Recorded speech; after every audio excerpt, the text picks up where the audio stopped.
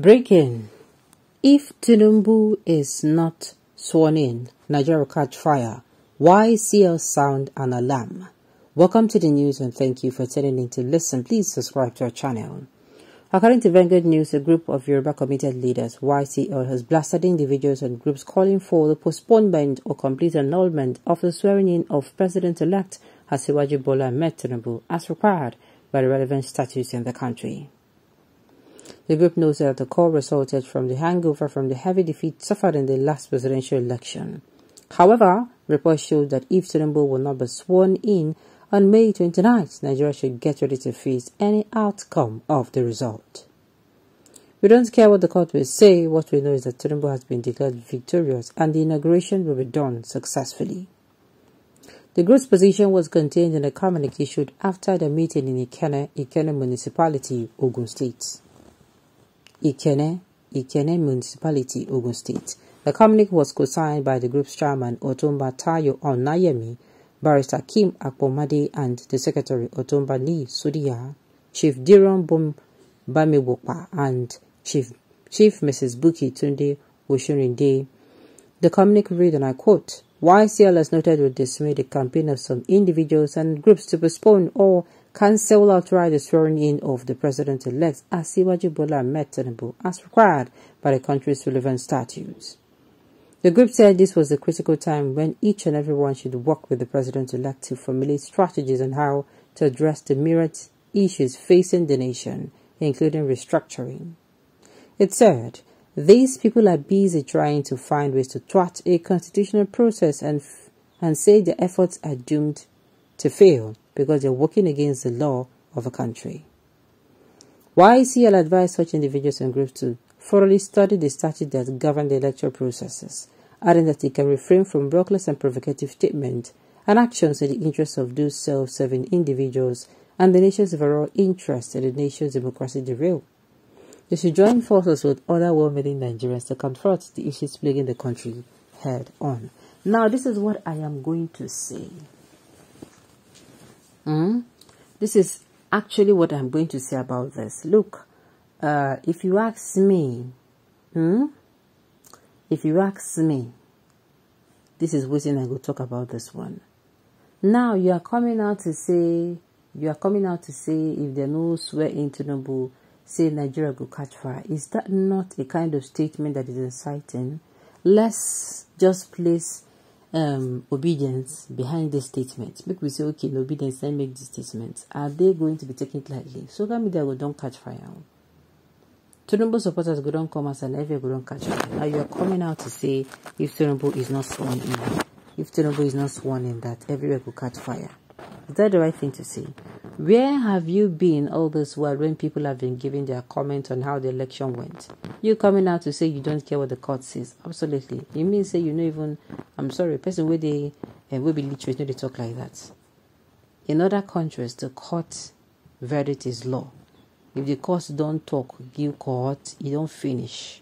There is nothing you can do about it. So coming out to say uh, the court is whatever. No, it's not um, possible. All right, some Yoruba are, being very rational, the most irrational people in the whole of West African continent, knowing fully what the Tinubu cannot run the country, but yet we're shedding blood for him. Hunger awaits you. Very soon, you people come out on the streets and begin to beg for food. My dear, you don't need to spell this out to them. The thing is, I just hope that sincerely, everything is going to be fine. Sincerely. We need to be in a country where no matter who asks God, the right thing is supposed to be done. I'm telling you, not because this person is our person, but because the person did the right thing. Okay? Somebody is saying, Are you down to the stretch of our fire service? Why are they like this now? my God. Oh my goodness. So, nothing will happen if Tinubu is not sworn in on the 29th May. Even Nigeria cannot come on faulty foundations. My own is this people they treated in Daboski now. Eh? Is this the right way to go? This is certainly not the right way to go. It is it's better you advise your man to return the stolen mandate and avert the fire. Wahala.